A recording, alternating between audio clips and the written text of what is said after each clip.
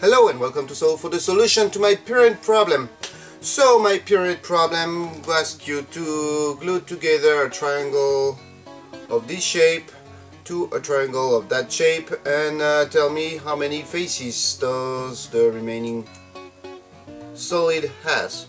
Well, looks like from those uh, five faces and those uh, four faces you're gonna have 9 minus those two faces which makes 7 faces. But actually if you consider this solid a little bit closer you realize and I'm going to show you here I have only two hands not easy so this solid is actually the same as that solid.